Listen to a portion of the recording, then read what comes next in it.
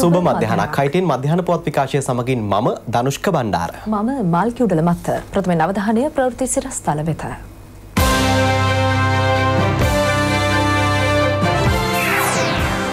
සංහින්දියාව සුරැකීමේ වගකීම ආගමික නායකින්ට පැවරණ බව ජනපති පවසයි. මීගමුවේ හානි සඳහා වන්දිගෙවීමට අගමැතිගෙන් උපදෙස්. පාසල් ඇරඹේ ආරක්ෂාවට උපරිම පියවර. අසත්‍ය මත පැතුරු මන්ත්‍රී පියල් නිශාන්ත CIDට. ත්‍රස්තවාදීන්ට දිය යුතු දඩුවම. මෙවැනි ත්‍රස්තවාදී සංවිධානවලට ඍජුව සම්බන්ධ වෙලා ඉන්න සියලු දෙනාම මරණ දඬුවමට ලක් කිරීම සඳහා වූ යෝජනා පාර්ලිමේන්තුවට ගේන්න ඕන. රුසියා ගුවන් අනතුරෙන් හතලිස් එක් දෙනෙකු ජීවිතක්ෂයට.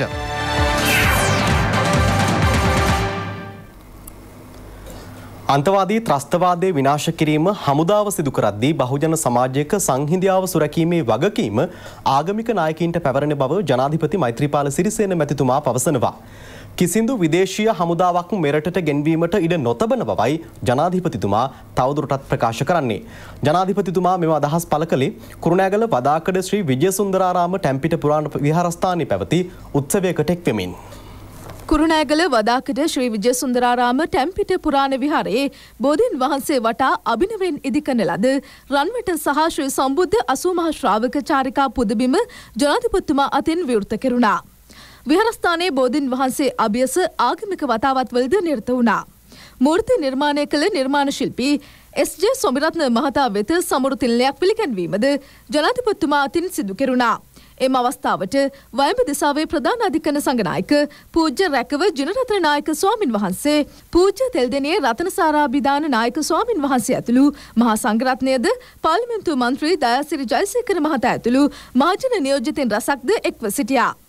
මේ ප්‍රශ්නය විසඳගන්න තිබිය යුතු ප්‍රධානම දේ තමයි සිංහල මුස්ලිම් දමිල සියලු ජනකොටස්වල සමගිය සහ විශ්වාසය ඇති කරගන්නේ. අපි මේ වගේ වෙලාවක එකිනෙකා දෙස සැකයෙන් බලන්න හොඳ නැහැ. ඒ සැකේ අවිශ්වාසය අපි දික්කරගත්තොත්. අපි මුස්ලිම් හැම කෙනෙක්ම ත්‍රස්තවාදීන් කියලා ඔවුන් දෙස බැලුවොත්. ඔවුන් වේගෙන් මේ අන්තවාදයට ඇදී ආවි. එහෙම වුණොත් අවුරුදු 30ක අත්දැකීම් ලැබපු යුද්ධයක් වගේ මේ ප්‍රශ්නය දිග්ගසේවි. මේක ඉක්මට ඉවර කරගන්න නම්. අපි ආරක්ෂක අමුදා බුද්ධ්‍යංශ ත්‍රස්තවාදීන් විනාශ කරනවා. ඒක මං ස්ථිරවම කරනවා.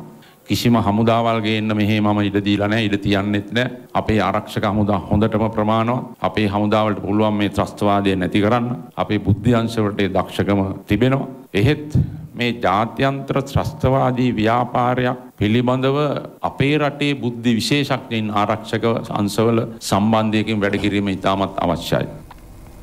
ඊයේ මීගමුවේ ඇති වූ නොසන්සුන්කාරී තත්ත්වයේ හේතුවෙන් පොදු සහ පෞද්ගලික දේපළවලට සිදු ඇති අලාභහානි තක්සේරු කිරීමෙන් අනතුරුව ඒ සඳහා වන්දි ගෙවීමට අග්‍රාමාත්‍ය රනිල් වික්‍රමසිංහ මහතා උපදෙස් ලබා දී ඇති බව අග්‍රාමාත්‍ය කාර්යාලය නිවේදනය කරනවා. ඒ අනුව ජාතික ප්‍රතිපත්ති ආර්ථික කටයුතු නැවත පදිංචි කිරීම හා පුනරුත්ථාපන උතුරු පළාත් සංවර්ධන සහ යෞවන කටයුතු අමාත්‍යංශය යටතේ හානි පූර්ණය සඳහා වන කාර්යාලය මගින් අලාභ හානි තක්සේරු කිරීමට කඩිනම් පියවරගෙන ඇති බවයි අග්‍රාමාත්‍ය කාර්යාලය තවදුරටත් නිවේදනය කරන්නේ. මේ අතර මේගමුවේ ඊයේ ඇති වූ නොසන්සුන්කාරී තත්ත්වය මේ වන විට මුළුමනින්ම පාලනය කර ඇති අතර එම ප්‍රදේශවලට පැන වූ පොලිස් ඇඳරි නීතියද පෙරවරු හතට ඉවත් කෙරුණා. ආරක්ෂාව තහවුරු කිරීමෙන් අනතුරුව දිවේනු පුරා පාසල්වල හය ශ්‍රේණියේ සිට ඉහළ ශ්‍රේණිවල අධ්‍යයන කටයුතු අද යළි ආරම්භ කෙරුණා. නව පාසල් වාරයේ ආරම්භ කිරීම වෙනුවෙන් අනුරාධපුර නොච්චයාගම විද්‍යාදර්ශ මහවිද්‍යාලයට විශේෂ ආරක්ෂිත වැඩපිළිවෙලක් යොදා තිබුණා. ප්‍රදේශයේ පාසල්වල ආරක්ෂාව සම්බන්ධයෙන් ස්වපැලීම සඳහා නොච්චයාගම ප්‍රාදේශීය ලේකම්වරයා නිරීක්ෂණ චාරිකාවකද නිරත වුණා. නාතන්ඩිය දම්මිස්සර ජාතික පාසලේ සිසු දරුවන්ගේ සහ ගුරුරුන්ගේ ආරක්ෂාව වෙනුවෙන්ද විශේෂ ආරක්ෂිත වැඩපිළිවෙලක් යොදා තිබුණා. ගුරුරුන් සහ සිසු දරුවන් පරීක්ෂා කිරීමෙන් අනතුරුව විද්‍යාලයට ඇතුළත් කිරීමටයි කටයුතු කෙරුණේ. වෞනියාව මඩකලපුව හා අම්පාර ප්‍රදේශවල පාසල් සඳහාද පොලිසිය හා යුද හමුදාවේ මැදිහත්වීමෙන් ආරක්ෂාව තහවුරු කර තිබුණා. පාසල් සංවර්ධන කමිටු ආදිශිෂ සංගම් එකතුවෙන් පාසල්වල ආරක්ෂක විධිවිධාන රැසක් ගෙන තිබුණා. කොළඹ ප්‍රධාන පෙළේ පාසල් කිහිපයක ආරක්ෂාව සම්බන්ධයෙන් ස්වාබැලීම සඳහා බස්නාහිර පළත් ආණ්ඩුකාර අසත් සාලි මහතා අද නිරීක්ෂණ චාරිකාවක නිරත වුණා. රාජකීය විශාකාදී විදුහල් කිහිපයකම අවට ආරක්ෂාව පිළිබඳ ස්වාබැලීමට ආණ්ඩුකාරවරයා කටයුතු කළා. උතුරු පලාතේ පාසල්වල කටයුතුද අද සාමාන්‍ය පරිදි ආරම්භ කෙරුණා. ඒ සියලුම පාසල්වල ආරක්ෂාව තහවුරු කිරීමෙන් අනතුරුවයි. සිසු දරුදරියන් සාමාන්‍ය පරිදි පාසල් වෙත පැමිණෙන ආකාරය දක්නට ලැබුණා. උතුරුමද පලාතේ සියලුම පාසල් සඳහා පූර්ණ ආරක්ෂාවක් සපය ඇති බව උතුරුමද පළාත් නියෝජ්‍ය පොලිස්පති පියස් සඳුන්ගහවත්ත මහතා පවසනවා. අද දිනේ පාසල් ආරම්භයට පෙර විශේෂ ආරක්ෂිත වැඩපිළිවෙලක්ද පාසල් අවට ක්‍රියාත්මක කෙරුණා. ප්‍රදේශයේ පාසල් පරීක්ෂා කිරීම සඳහා පොලිසිය ඉහළ නිලධාරීන් රසක් එක්ව සිටියා. අම්බලංගුඩ ප්‍රදේශයේ සියලු පාසල් වෙත අවශ්‍ය ආරක්ෂාව තහවුරු වී තිබෙන බව විදුහල්පතිවරුන් පෙන්වා දෙනවා. ආරක්ෂක අංශවල සහ පාසල් ආරක්ෂක කමිටුවල මැදිහත්වීමෙන් විශේෂ ආරක්ෂිත වැඩපිළිවෙලක්ද ක්‍රියාත්මක කර තිබෙනවා. මේ අතර නව පාසල් වාරය ආරම්භ කිරීමට රජය තීරණය කළේ ආරක්ෂක අංශ පාසල්වල ආරක්ෂාව තහවුරු කිරීමෙන් අනතුරු බවයි අධ්‍යාපන අමාත්‍යංශයේ අතිරේක ලේකම් පාසල් කටයුතු RMM රත්නායක මහතා ප්‍රකාශ කළේ. ITN හත්වෙනි පෑ වැඩසටහනට එක්වෙමින් ඒ මහතා මේ බව කියා සිටියා.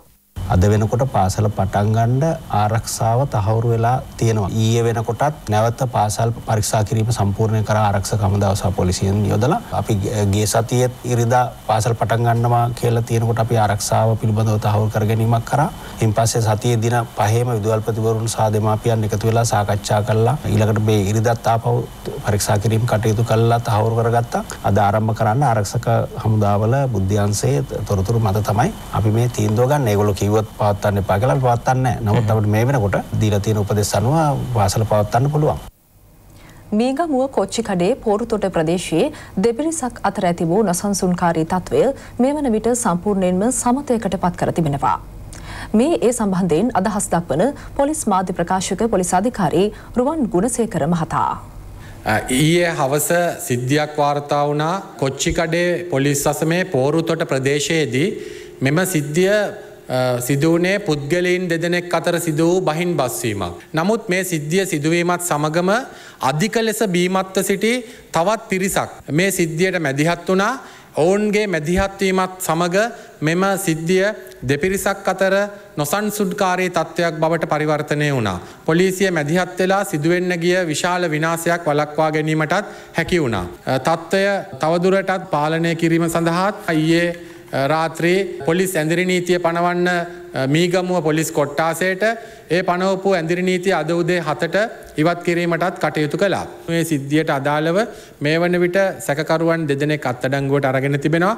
ඒවගේම මේ සිද්ධියට සම්බන්ධ වුණු තවත් පුද්ගලයෙන් කිහිප දෙනෙක්ම හඳුනාගෙන තිබෙනවා. පසුගිය දින කිහිපය පුරාවටම පොලිසියත් ත්‍රවිධ හමුදාවත් ඒකාබද්ධව විශේෂ වැටලීම් සිදු කලා. ඒ විශේෂ වැටලීම් වලදී අපිට පුළුවන් වුණා කඩුවාදී තියුණු ආයුධ රැසක් අත්තඩංගුවට ගන්න. දැම් මේ ඊයේ මීගම්මුවේ සිදුව මේ සිද්ධියේදී අපිට නිරීක්ෂණය වුණු දෙයක් තමයි මේ කඩුවාදී තියුණු ආයුධ පාවිච්චි කිරීමක් සිදු කරලා තිබුන්න. මෙහිදී තවත් දෙයක් නිරීක්ෂණය වෙනවා මේ පොලිසිය හා ත්‍රවිධ හමුදාව සිදුකරපු. මෙහෙයුම් වල ප්‍රතිඵලයක් වශයෙන් තමයි මෙලෙස තියුණු ආයුධ පාවිච්චි කිරීමක් සිදුවෙලා නැත්තේ කියන දෙයක් මේ අවස්ථාවේදී අපිට නිරීක්ෂණය වෙනවා. ඒ මෙහෙයුම් අපි දිගටම සිදු කරනවා මේ අතර නිවෙස් ඇතුළු ඇතැම් ස්ථානවල තිබූ කඩුකිනිසි උල්පිහි ආදී ආයුධ ළඟම ඇති පොලිස් ස්ථාන වෙත බහර දීම සඳහා ලබා දී තිබූ කාලය පැය 48කින් දීර්ඝ කර තිබෙනවා. මහජනතාවට අපි අද රාත්‍රී 12 දක්වා කාලය ලබා දුන්නා කඩු කිනිසි උල්පිහි ආදිය පොලිස් ස්ථාන වෙත ගෙනවිත් බාර දෙන්න කියලා. ඒ වගේම ඒ අද රාත්‍රී 12 සිට තවත් පැය 48කට අපි ඒ කාලය දීර්ඝ කරලා තිබෙනවා. එවැනි දේවල් තිබෙනවා නම් පොලිස් ස්ථාන වෙත ගෙනවිත් බාර දීමට හැකියාව තිබෙනවා. අගරදුගුරු අති උතුම් මැල්කම් කාදිනල් රංජිත්මි පානන් අද උදෑසන මීගම්මුව කොච්චි කඩි ප්‍රදේශයේ සංචාරයක නිරත වුණා. එහිදී මාධ්‍ය හමු අදහස් දැක්වූ අගරදුගුරුතුමන්. හුඟක් වෙලාවට බය තුළ ඇතිවෙච්ච තත්ත්වයක් බය සහ සැකය. අපි මේ වගේ වෙලාවක ආවුද හරඹයට සූදානම් වෙන්න හොඳ නෑ. මොකද ආයුධයක් අතට ගන්නේ පණ නැති මිනිස්සු. ආයුධය අතට ගන්න නැතුව තමන් අදහන ධර්මයන්ට අනුව ඒවට උත්තර දෙන්න ලෑස්ති වෙන්න ඕනේ. එතකොට තමයි අපිට මේ ප්‍රශ්නේ निराකරණය කරගන්න පුළුවන් වෙන්නේ. ත්‍රස්ත ක්‍රියා සිදු කරන අයට මරණ දඬුවම ලබා දිය යුතු බව පාර්ලිමේන්තු මන්ත්‍රී එස්.එම්. මරික්කාර් මහතා සඳහන් කරනවා. ඒ සඳහා නව පනතක් ගෙන යුතු බවයි මන්ත්‍රීවරයා ප්‍රකාශ කරන්නේ. මේ ත්‍රස්ත ප්‍රහාරය ඉතාම නින්දිතයි නිර්ලජ්ජිතයි ඒකට අපි දැන් දුක් වෙනවා කියලා හරියන්නේ නැහැ. මේකට ආධාර උපකාර අනුබල දුන්නු සියලු දෙනාම තරාතිරම නොබලා දේශපාලඥ වෙන්න පුළුවන් නිලධාරීන් වෙන්න පුළුවන් සියලු දෙනාට නීතියෙන් උපරිම දඬුවම් දෙන්න ඕන. මද්‍රව්‍ය ජාවාරම්කාරයන්ට මේ මරණ දඬුවම දෙන්න ඕන කියලා කියනවනම් ත්‍රස්තවාදීන්ට රාජ්‍ය ආරක්ෂාව පිළිබඳ විශාල ගැටලුවක් තියෙන. ත්‍රස්තවාදීන්ව මරන්න මොන හරි පනතක් ගේන්න ඕන. මගේ පුද්ගලික අදහස නම් මෙවැනි ත්‍රස්තවාදී සංවිධානවලට ඍජුව සම්බන්ධ වෙලා ඉන්න සියලු දෙනාම මරණ දඬුවමට ලක් කිරීම සඳහා වූ යෝජනා පාර්ලිමේන්තුවට ගේන්න ඕන. පාර්ලිමේන්තු මන්ත්‍රී පියල් නිශාන්ත මහතා ප්‍රකාශයක් ලබා දීම සඳහා අපරාධ පරීක්ෂණ දෙපාර්තමේන්තු වෙත පැමිණියා. අම්පාර සයින්ද මර්දු ප්‍රදේශයේ සිදු වූ වෙඩි හෝමාරුවේදී ආරක්ෂක අංශ සමාජිකයන් එකොළොස් දෙනෙකු ජීවිතක්ෂයට පත් වූ බවට මන්ත්‍රීවරයා ප්‍රසිද්ධ මාධ්‍යයක් ඔස්සේ ප්‍රකාශයක් කර තිබුණා. එමගින් ජනතාව කුපිත කර සමාජ වෙසනයක් සිදු කිරීමට ඔහු කටයුතු කළ බවට චෝදනා එල්ල වුණා. ඒ සම්බන්ධයෙන් ප්‍රකාශයක් ලබා ගැනීම සඳහායි අපරාධ පරීක්ෂණ දෙපාර්තමේන්තුවට ඔහු කැඳවා තිබුණේ. මාධ්‍ය ආයතනයක පැවිදි දේශපාලන වැඩසටහනකදී මම කරපු ප්‍රකාශයක් සම්බන්ධව තමයි එන්න කියලදී. මම ඒ පිළිබඳව නිවැරදි කිරීමක් කරා. ඉතින් අද මම ඒ සම්බන්ධව ප්‍රකාශයක් කරන්න තියෙන ඒ ප්‍රකාශය මං ක්‍රියාත්මක කරනවා. අන්තවාදී ත්‍රස්ත කණ්ඩායම් මුලින්ඩු පුටා දැමීමට කටයුතු කළ යුතු බව පාර්ලිමේන්තු මන්ත්‍රී ෆයිස මුස්තාපා මහතා පවසනවා. රට තුළ සිදු වූ ත්‍රස්ත ක්‍රියා හෙලා දකින බවයි කොළඹ පැවති මාධ්‍ය හමුවකට එක්වෙමින් ඒ මහතා වැඩිදුරටත් සඳහන් කළේ.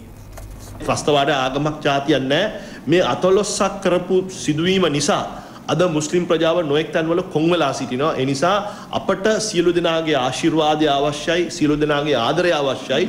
ප්‍රජාවක් හැටියට අපි ත්‍රස්තවාදයට විරුද්ධ වූ කණ්ඩායමක් අපේ උලම සභාවේ අපේ සමහර දේශපාලන නායකින් දිගින් දිගට මේ ත්‍රස්තවාදී කණ්ඩායම ගැන අදාළ අංශවලට දැනුවත් කරලා තියෙනවා. ඒ නිසා සමාජයක් හැටියට අපි තරේම මේ කණ්ඩායමට විරුද්ධව විරුද්ධත්වය ප්‍රකාශ කරලා තියෙනවා. ඒ වගේම අපේ ත්‍රිවිධ හමුදාව අපේ පොලිසිය කරන ක්‍රියාමාර්ගය ඉතාමත් විශිෂ්ටයි. මේ අවස්ථාවේ මොන ආගමක් මොන ජාතියක් වුවත් අපේ ජාතික ආරක්ෂාව ඊට වඩා වැදගත්. ඒ නිසා මුස්ලිම් උලම සභාවත් තීන්දුවක් ගත්තා අපේ කාන්තාවට මේ අවස්ථාව බුර්කා අඳින එක වළකින්න කියලා කිව්වා. ඒ නිසා මේ අවස්ථාවේදී ගත් ක්‍රියාව අනිවාර්යයෙන්ම ජාතික ආරක්ෂාව වෙනුවෙන් කළ යුතු දෙයක් කියන එක තමයි මගේ විශ්වාසය.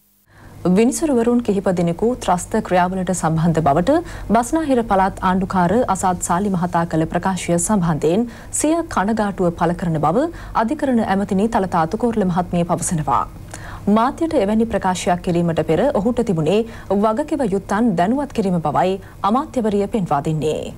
මම හිතන්නේ මේ වෙලාවේ ඉතාම ස්වාධීන අධිකරණයක් රටේ ක්‍රියාත්මක වන වෙලාවක නීතිය හරියටම ගරු කරමින් නීතිය ක්‍රියාත්මක වෙන වෙලාවක මෙවන් විනිශ්චකාරවරයෙක් කරපු සිද්ධියක් හෝ විනිශ්චකාරවරු කීප දෙනෙක් සම්බන්ධ සිද්ධියක් සම්බන්ධයෙන් මාධ්‍යයට කතා කිරීම එච්චරම පොද ක්‍රියාවක් හැටියට මම දකින්නේ නැහැ. ඒ ගැන මම සම්පූර්ණයෙන්ම හිලා දකිනවා. මම මේ වෙලාවේ ඉල්ලීමක් කරනවා මාධ්‍ය හරහම එවන් සිද්ධියක් සම්බන්ධයෙන් මොනම විනිශ්චකාරවරයෙක් හරි කටයුතු කරලා තියෙනවා නම් ඒ සම්බන්ධයෙන් ගරු අග්‍රවේශකාරතුමාවත් විශේෂ භාර ඇමතිවරිය හැටියට මාවත් දැනුවත් කරන්න කියලා ඒ අනුව අපිට ඒ සම්බන්ධයෙන් ඉදිරියේදී අවශ්‍ය පරීක්ෂණ කටයුතු ආරම්භ කළා මොනම තත්ත්වයක හෝ තරාතිරමක කෙනෙක් සම්බන්ධ වෙලා ඉන්නවා නම් අවශ්‍ය උපරිම කටයුතු කරන්න අපි ඕනෑම වෙලාවක සූදානම් කියන එක මේ අවස්ථාවේ දැනුවත් කරනවා. පවතින තත්ත්වය හමුවේ සමාජ මාධ්‍යජාලා හරහා ජාති හා ආගම්බේද වැපරීමට උත්සාහ කරන්නන් නිසා ගැටුම් ඇතිවීමේ අවධානමක් පවතින බව මිහින්තලේ රජමහා විහාරාධිපති පූජ්‍ය වලවා හැංගුණුවේ ධම්මරතන ස්වාමින් වහන්සේ පවසනවා. රට ආපසු හැරවීමට කටයුතු කිරීමෙන් වලකින ලෙසයි උන්වහන්සේ සමස්ත ජනතාවගින් ඉල්ලා සිටින්නේ. අපේ රටට මහා විපත්තියක් වෙලා තිබෙනවා. ඒ විපත්තිය සිදුවෙලා තිබෙන අවස්ථාවේදී මේ සමාජ මාධ්‍ය ජාල හරහා අපේ ජාතීන් විශේෂයෙන්ම ඇවිස්සීමට කරන ප්‍රකාශන තිබෙනවා. ඉතින් ඒ තුලින් අපේ ආගම්වාදය, ජාතිවාදය ඇවිස්සෙන්නට පුළුවන්. අපි මේ සියලු ජන කොටස් වලින් අපේ රට, අපේ ලංකාව කියන හැඟීමෙන් කටයුතු කරලා මේ අපේ ජාතිය කියන බෙදා ගන්න නැතුව අපි ලාංකිකයෝ හැටියට එක්කාසු වෙලා සියලු දෙනාම ඒ ප්‍රශ්නයෙන් ගොඩ ගොඩේම සඳහා කටයුතු කිරීම තමයි අපි කාගේත් වගකීම සහ යුතුකම. දිවයින පුරා සෝදිසි මෙහෙයුම් තවදුරටත් සිදු කරනවා. විශේෂකාරය බලකාය ස්ථාන දෙකක ඊයේ සිදු කළ වැටලීම්වලදී ත්‍රස්ත සැකකරුවන් නවදිනෙකු අතරංගුවටගත් බව එම බලකාය සඳහන් කරනවා. විශේෂ කාර්ය බලකාය කැබති ගොල්ලෑව කඳුරේ නියධාරින් සිදු කළ වැටලීමකදී තවහිත් ජමත් සංවිධානයට සම්බන්ධ බවට සැක කෙරෙන පුද්ගලෙන් හත් දෙනෙකු අත්තරංකුවට ගෙන තිබෙනවා. සැක සහිත බැංකු ගිනුම් පොත් හතක් හාඩ්ඩිස් දහටක් ලිපිගුණු කට්ටල තුනක් සහ ලියාපදිංචි කර නොමැති අතුරු පැතියක්ද අත්තරංකුවට ගැනුණා. හාඩ්ඩික් සහ ලිපිගුණු හමුවී ඇත්තේ වල තමා තිබියදී. සීඩී තැටි හතලිස් අටක්ද අත්තරංකුවටගත් බවයි විශේෂකාරය බලකාය පවසන්නේ.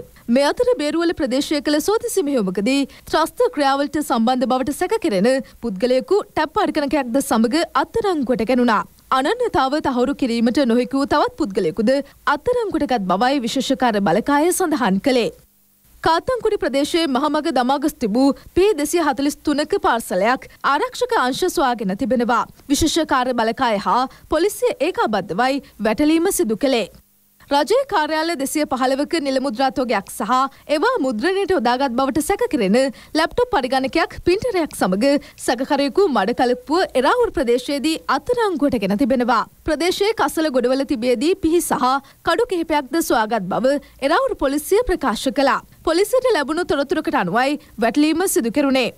මේ අතර එරවුරු කලපු අසල පාලු ඉඩමක දමා ගොස් තිබූ පුපුරණත් ද්‍රව්‍ය තොගයක් යුද හමුදාව මගින් සොයාගැනුණා. ටී පනසය ජීවවුන්ඩ තුන්සිය පණහක් මැගසින් හයක් හා අත්බොම්බ දෙකක් ඒ අතර වුණා.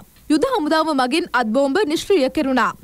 මාරවිල නගරේ සිදු කළ වැටලීමකදී පුද්ගලයෙකු අත්තරංකොට ගැනීමට යාමේදී ඇතුූ ගැටුමකින් පසු පොලිස් වැඩිපහරින් එම පුද්ගලයා මිය ගොස් තිබෙනවා.